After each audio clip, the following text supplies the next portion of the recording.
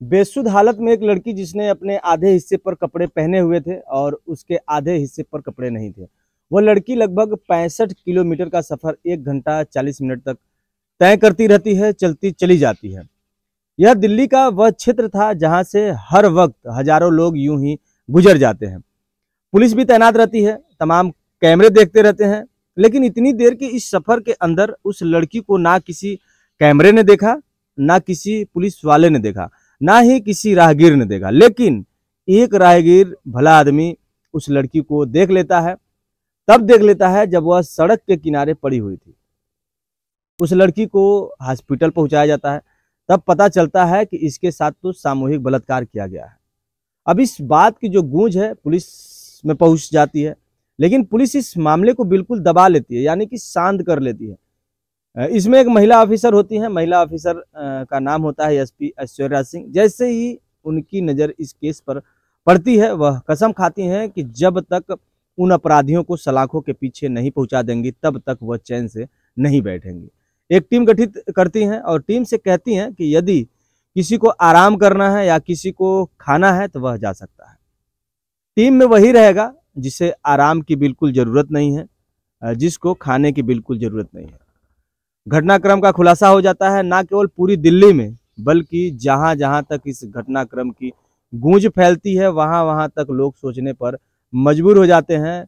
यह घटना निर्भया कांड की याद दिलाती है। वह निर्भया कांड जिसने पूरे देश को हिला करके रख दिया था।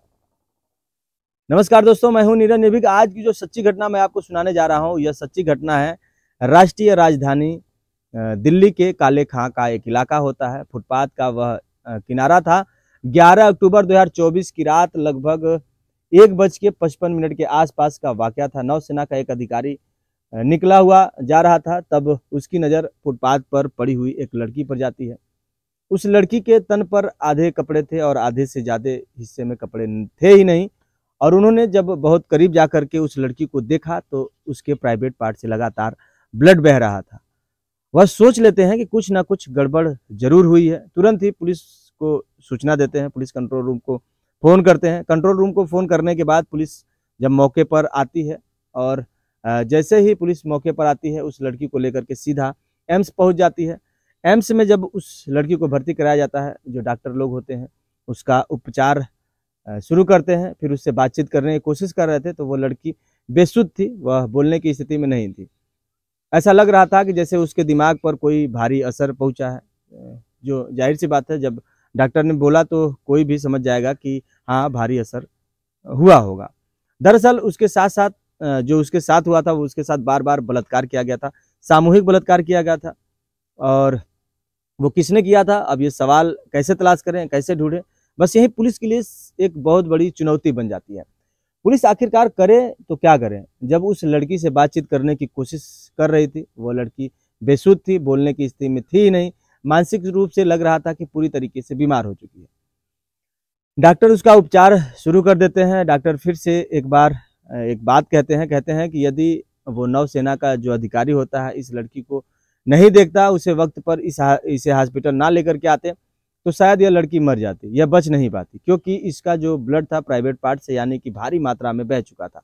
अब जब दिन पर दिन बीत रहे थे, पुलिस वाले परेशान हो रहे थे जो एसपी ऐश्वर्या सिंह होती हैं, अब इस मामले की अगुवाई कर रही थी, पड़ताल कर रही थी वह सोचने पर मजबूर हो जाती हैं कि करें तो क्या करें, शुरुआत कहाँ से करें, इस घटना को कैसे पता करें और कैसे इस घटना का पता चले कि क्या हुआ है, कहाँ हुआ है, कौन है वो जिन्होंने इसके साथ इतना गंदा और घिनौना कृत्य किया है।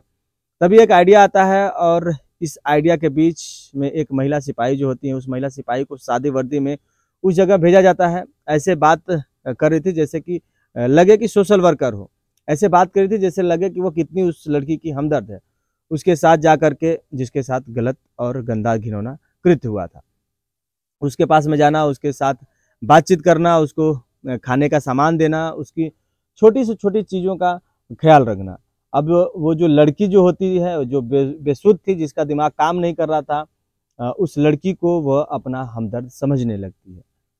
और जैसे उसको अपना हमदर्द समझने लगती है दोस्तों, आपको बता दें कि उसको दोस्त समझने लगती है तब वो ज़ोर ज़ोर से रोने लगती है, क्योंकि उसे लग रहा था कि शायद उसकी फरियाद सुनने वाला कोई आ गया है। अब उस महिला सिपाही के सामने इस लड़की ने जो कई दिनों तक उसका इलाज चल रहा था, जिसके दिमाग का इलाज चल रहा था, जिसके शरीर का इलाज चल रहा था, उसने अब बोलना शुरू किया। उसने उस महिला सिपाही से बताया कि वह उड़ीसा की रहने वाली है और उड़ीसा में उसने MSW यानी कि मास्टर ऑफ़ सोशल वर्क में एमए का कोर्स होता है, वो किया हुआ है। यह जो कोर्स होता है समाज सेवा के लिए कोर्स करते हैं एम उस कोर्स को करने के बाद उसने नर्सिंग का कोर्स किया और इसी बीच में उसके एक दोस्त से बात होती है। दोस्त उसका दिल्ली में रहता था। दिल्ली वाले दोस्त कहता है कि अगर आपको अच्छा कैरियर बनाना है, आपको कुछ आगे बढ़कर कुछ करना है तो आप उड़ीसा को छोड़ करके आप यहाँ दिल्ली आ जाइए। यहाँ बहुत सारी अपॉर्चुनिटी है, यहाँ पर बहुत सारा काम है, यहाँ बहुत सारा काम किया जा सकता है। लड़की होनहार, होशियार, अब उसे, उसने जो कोर्स किया था, उसी के हिसाब से नर्सिंग कोर्स हो या एमएचडब्ल्यू हो, उसने उस कोर्स के हिसाब से गरीब बच्चों की मदद करना शुरू कर दिया था। साथ ही गरीब महिलाओं की मदद करना शुरू कर दिया था। ऐसे असहाय लोगों की मदद करना शुरू कर दिया था, जैसे बताते हैं कि मदर टेरेसा किया करते थे। इसी तरीके से केस से उसकी जो ज़िंदगी है वो आगे चल रही थी। लेकिन जिस दोस्त ने इस लड़की को दिल्ली बुलाया था, जिस दोस्त ने ये कहा था कि तुम दिल्ली आना, तुम्हारी मदद होगी, यहाँ पर बहुत सारी अपॉर्चुनिटी है, यहाँ पर तुम बहुत सारा काम कर सकती हो। वही लड़की उस लड़के को बोझ लगने लगती है। उसे लग रहा था कि जैसे कि अब पता नहीं वह उसके लिए जो कमाया हुआ है, उसी का खाती है, उसी के यहाँ रहती है, क्या करे? तो क्या अब अब उसने थोड़ा सा उससे दूर हटने लगता है। अब इस लड़की को लगता है कि यहाँ पर रहेगी तो शायद सही नहीं है, इसलिए उसने अपने दोस्त की उस जगह को छोड़ा और वह किशनगढ़ के इलाके में पहुँच जाती है। वहाँ पर ननों के साथ रहना शुरू कर देती है। ननों समाज सेवा करती है, गरीबों की मदद करती है, असहायों की मदद करती है, लेकिन यहाँ रहते रहते उस लड़की का जो मानसिक जो संतुलन था, वह बिगड़ने लगता है। अच्छी खासी पढ़ी लिखी नर्सिंग कोर्स, एमएचडब्ल्यू का कोर्स उसने किया हुआ था। उड़ीसा से दिल्ली अपना कैरियर बनाने के लिए आई थी और अचानक ही उसका मानसिक तबीयत कुछ ज़्यादा खराब होने लगता है। तो वह अचानक से यहाँ से निकल जाती है, चली जाती है। जुलाई 2024 में किशनगढ़ का वह जो इलाका होता है उसको छोड़ देती है और नन इस बात की शिकायत करती है जा कर के थाने में कि हमारे यहाँ पर एक लड़की रहती थी और वह अचानक से चली गई है। अब लड़की ने नया ठिकाना ढूंढना शुरू कर दिया, जैसे कि बस स्टॉप, जैसे कि ओवर ब्रिज, जैसे कि रेलवे स्टेशन या ओवर ब्रिज के किनारे जो फुटपाथ होते हैं, वहाँ पर इस तरीके से रहने चली जाती है। लेकिन वह नहीं जानती थी कि दिल्ली सेफ़ नहीं है, दिल्ली में कुछ भी हो सकता है। और दस ग्यारह अक्टूबर 2024 की वह रात होती है। रात के लगभग नौ बजे के आसपास का वाक़ था, जब यह लड़की आई I I T U Rajghat के पास थी, तभी रात के लगभग नौ बजे के आसपास का वक्त रहा होगा। दो व्यक्ति आते हैं। एक का नाम प्रभु प्रमोद उर्फ़ बाबू होता है, जो कि दिल्ली के नरेल में अस्थायी रूप से रह रहा था, लेकिन स्थायी रूप से अंबेडकर नगर, उत्तर प्रदेश का रहने वाला होता है। दूसरा जो होता है शमसूल उर्फ़ राजू, जो कि गांधीनगर, दिल्ली में अस्थायी रूप से रह रहा था, और वैसे मूलतः रहने वाला वो बेगूसराय, बिहार का रहने वाला होता है। इन दोनों की नज़र पड़ती है। शमसूल जो होता है, वह दोनों पैरों से विकलांग होता है, यानी कि ठीक से चल भी नहीं पा रहा था। हाथ की भी हालत ऐसी ही थी। दूसरा जो प्रमोद होता है वो भी राक्षस से कोई कम नहीं था। इस लड़की को अपने साथ लेकर के जाते हैं सुनसान झाड़ियों के पास, जहाँ मेट्रो स्टेशन है, उसी के पास कुछ झाड़ियाँ थी। उन झाड़ियों के पास लेकर के जाते हैं। दोनों उसके साथ मिल करके सामूहिक बलात्कार करते हैं। लड़की विरोध करने की स्थिति में इसलिए नहीं थी क्योंकि उसका जो मानसिक जो आघात पहुँचा था किसी बात को लेकर के वो परेशान थी। समझ नहीं पा रही थी कि आखिरकार क्या हो रहा है। दोनों मिलकर के उसके साथ गंदा घिनौना कृत्य करते हैं। जब मन भर जाता है, उसके बाद इन दोनों पर, इस लड़की पर एक नज़र पड़ती है आटे ऑटो वाले की। ऑटो वाला जो होता है, उसका नाम प्रभु महतो होता है, जो कि कोटला, मुबारकपुर, दिल्ली का रहने वाला होता है। अस्थायी रूप से, लेकिन अस्थायी रूप से मोतिहारी गया घाट बिहार का रहने वाला होता है। उसने जब इन तीनों को देखा और देखने के बाद उस लड़की को अपने ऑटो में बिठाता है। साथ ही जो, उसके साथ जो दोनों थे, एक का नाम प्रमोद, दूसरे का नाम शमसुल उनको भी ऑटो में बिठाता है। ऑटो में बिठाने के बाद इनको यहाँ से रिंग रोड फिरोजा शाह कोटला की तरफ़ लेकर के जाता है। वहाँ पर किला होता है। किला के पीछे जो सर्विस मार्ग होता है, उसके पास ले जा करके फिर से इसके साथ बलात्कार करते हैं। और तीनों मिल करके उसके साथ तब तक यह गंदा और घिनौना कृत्य करते रहते हैं जब तक क्या उनका जो है मन भर नहीं जाता है। इसके बाद वह अचानक अपनी जगह पर निकल जाते हैं। उस जो लड़की है, उसको वहीं पर छोड़ देते हैं।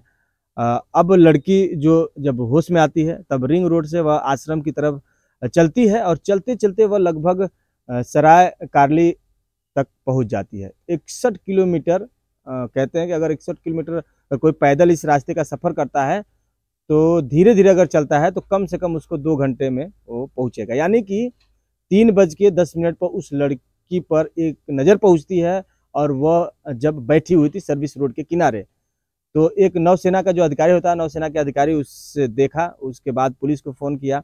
पुलिस इस हॉस्पिटल ले जाती है। हॉस्पिटल में जब बातचीत नहीं हो पाती है तो एक महिला सिपाही जो होती है, वो बातचीत करती है और पूरी कहानी उससे समझती है अब इस ऐसी स्थिति में दस टीमें बनाई जाती हैं। एस पी ऐश्वर्या सिंह के नेतृत्व में दस टीमें बनती हैं और आ, कहा जाता है कि जिस किसी को भूख लगती है जिस किसी को काम नहीं करना है वो टीम का हिस्सा ना बने। बस यहाँ पर इस लड़की को इंसाफ दिलाना है और वही इस टीम का हिस्सा बनेगा। टीम में काम करना शुरू कर दिया और काम करने के बाद लगभग 700 कैमरे देखे जाते हैं। 150 ये जो ऑटो वाले होते हैं, उनको पकड़ा जाता है क्योंकि ऑटो की जो होती है वो लीड मिल चुकी होती है। साथ ही लीड मिलने के साथ साथ एक विकलांग लड़के की जो समसुल विकलांग होता है, अब पुलिस ने अपना काम किया। 21 दिन लगे पुलिस को, लेकिन 21 दिन में पुलिस आखिरकार उन दरिंदों तक पहुँच जाती है। उन्हें गिरफ़्तार किया जाता है, और गिरफ़्तार करने के बाद उनको जेल भेजा जाता है। जब इस घटनाक्रम का खुलासा होता है तो लोगों को यकीन नहीं हो रहा था कि जैसे निर्भया के साथ दरिंदगी हुई थी यह दरिंदगी जो हुई है उड़ीसा के इस लड़की के साथ, वह कम नहीं है। उड़ीसा तक जब यह बात पहुँचती है तो उड़ीसा के जो मुख्यमंत्री होते हैं, दिल्ली सरकार से, दिल्ली की पुलिस से बातचीत करते हैं और इस मामले में उचित कदम उठाने की मांग करते हैं। दोस्तों, निर्भया के जो दोषी होते हैं, उनको तो फांसी के फंदे पर चढ़ा दिया गया था, लेकिन इस लड़की के साथ निर्भया जैसा कोई कम अपराध नहीं हुआ है। देखने वाली बात यह है कि क्या यह अपराधी फांसी के फंदे पर चढ़ेंगे या फिर वैसे ही कोर्ट कचहरी के चक्कर काटते काटते ये लड़की मजबूर होकर अपने घर चली जाएगी। और जो अपराधी होंगे, कुछ दिनों के बाद वह छूट जाएँगे। क्या ऐसा होगा? या फिर निर्भया के दोषियों की तरह इनको भी फांसी के फंदे पर चढ़ाया जाएगा। हम अपनी इस कहानी के माध्यम से अधिकारियों से यह अपील करना चाहते हैं कि इस मामले को फास्ट ट्रैक कोर्ट में चलाया जाए और इन दोषियों को कम से कम समय में फांसी के फंदे पर चढ़ाकर वैसी ही मिसाल पेश की जाए जैसा कि निर्भया के दोषियों के साथ हुआ था। दोस्तों, इस पर आपकी क्या राय है, आप हमें ज़रूर बताइएगा। और वीडियो अच्छा लगा हो तो वीडियो को लाइक करें और चैनल पर हमारे नए हो तो चैनल को सब्सक्राइब कर लीजिए, उससे हमारा हौसला बढ़ता है। चलिए दोस्तों, फिर मिलते हैं एक वीडियो के साथ। आज के लिए बस इतना ही, तब तक के लिए जय हिंद, वंदे धन्यवाद